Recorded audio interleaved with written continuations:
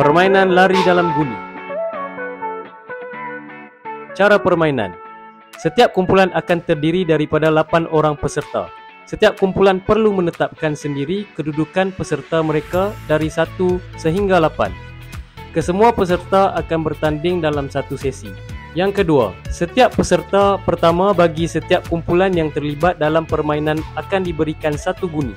Yang ketiga, peserta diminta untuk menyarung guni dan bersedia di garisan permulaan.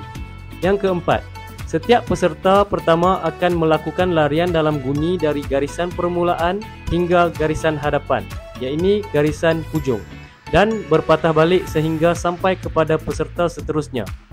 Peserta kedua akan meneruskan larian. Yang kelima, cara 2 hingga 4 bagi permainan ini akan diulang dan diteruskan sehingga peserta terakhir. Mana-mana peserta terakhir kumpulan yang berjaya merentasi garisan penamat akan dikira sebagai juara. Syarat permainan Peserta yang bertanding dilarang memasuki garisan pihak lawan. Satu mata akan ditolak sekiranya peserta memasuki garisan pihak lawan.